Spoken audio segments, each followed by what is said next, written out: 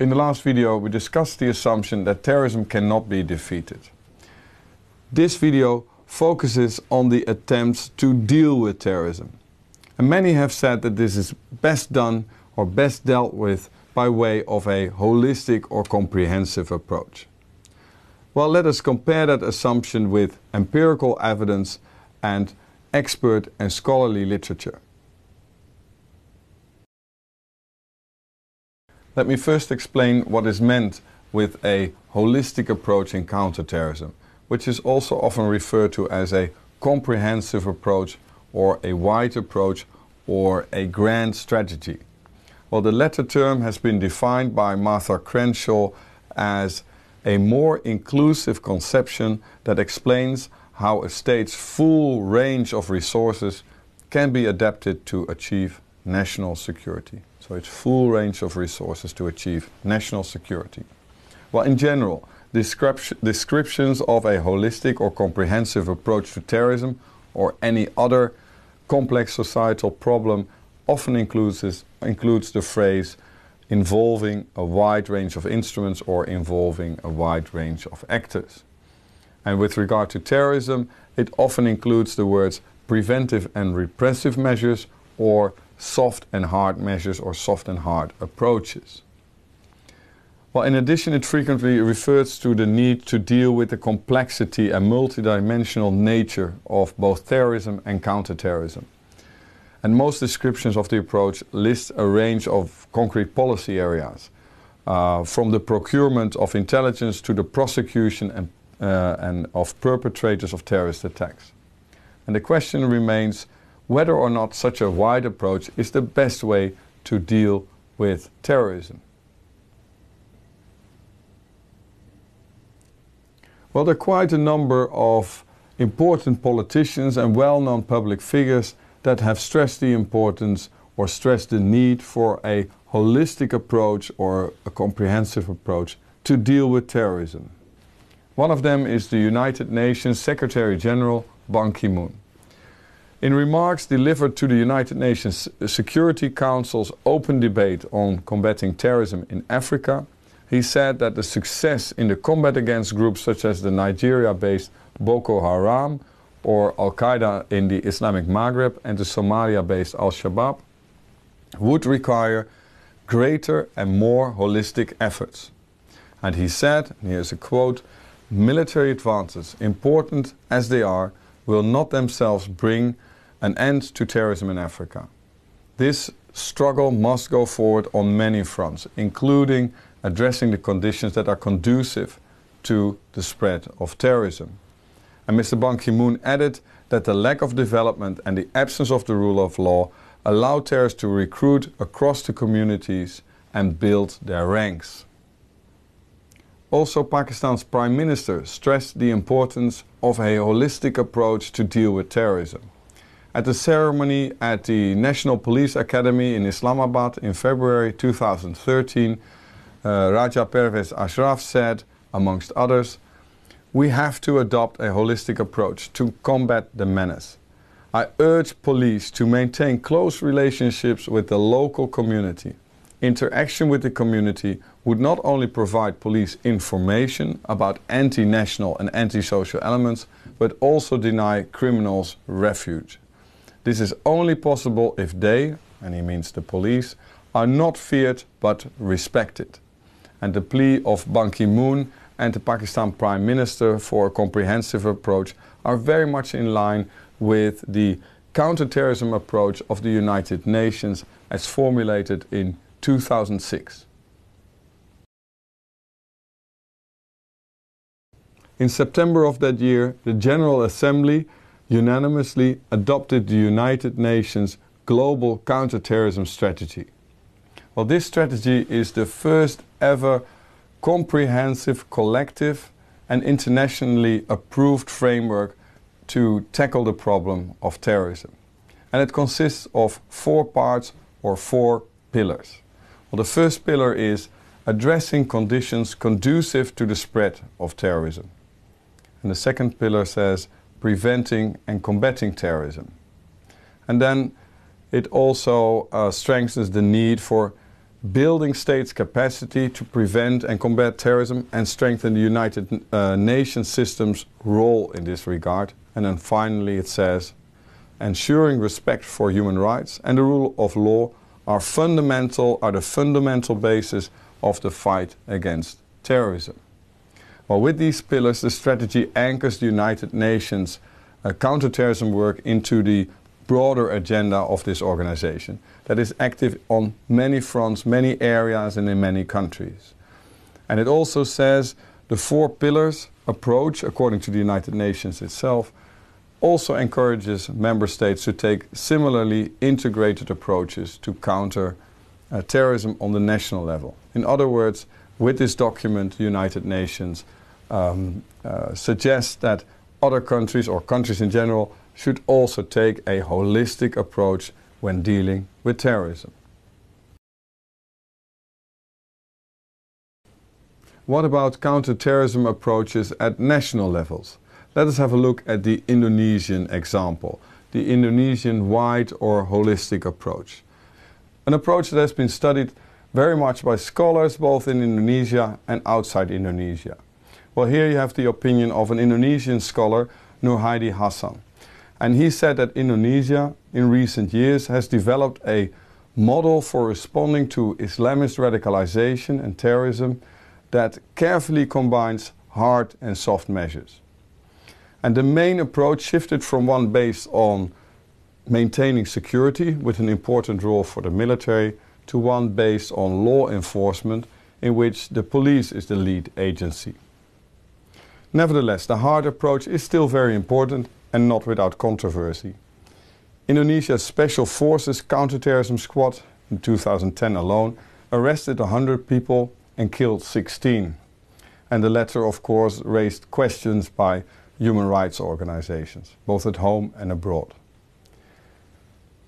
Notwithstanding these concerns, Indonesia today is less prone to serious terrorist attacks than it was in the early 2000s and that's partly thanks to the hard approach.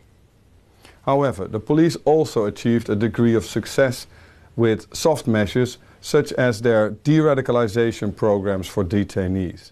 I already mentioned them in an earlier video. While these programs have led to leading militants uh, working with the police and other authorities. And as part of their holistic approach, the Indonesian authorities also very much welcomed the um, role of civil society that has been working on grassroots level to strengthen people's awareness to and resilience uh, against the threats posed by radicals and terrorists that seek to infect local populations with violent ideologies. And according to Noorhaidi Hasan, the Indonesian experience is not only very interesting, uh, but also valuable to other countries.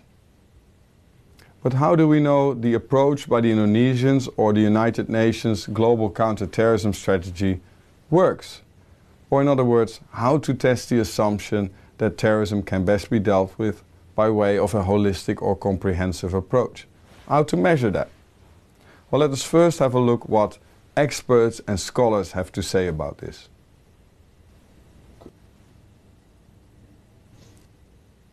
For instance, Bruce Hoffman, one of the leading scholars in the field of terrorism and counterterrorism studies, in his testimony before the Subcommittee on Terrorism and Homeland Security of the United States House of Representatives that took place two weeks after 9 11, stated that only a comprehensive or holistic approach will work.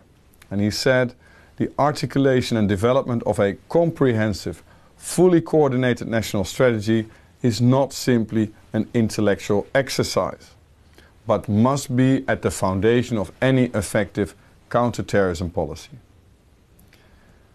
Well, failure to do so, he said to this uh, US House of Representatives, has undermined the counterterrorism efforts of other democratic nations. And referring to the aftermath of the 9 11 attacks, Hoffman said, What is now therefore clearly needed is a comprehensive effort that seeks to knit together more tightly and provide greater organizational guidance and focus to the formidable array of capabilities and instruments the US can bring together or can, can bring to bear in the struggle against terrorism. I guess the key words here are cooperation, coordination, as well as focus. Also in my home country, the Netherlands, both authorities and many scholars seem to agree on a need for a holistic or comprehensive approach.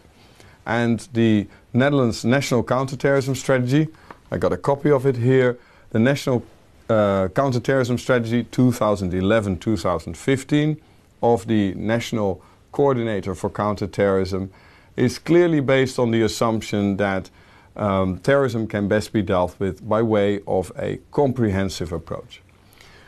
Well, its main point of departure uh, is that an effective approach to terrorism can only succeed if not only the acts of violence themselves are tackled, but also the process that preceded these acts.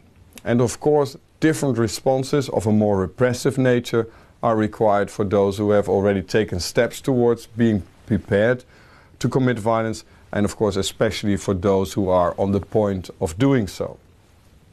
Thus, this strategy combines both preventive and repressive measures as part of a Dutch comprehensive approach.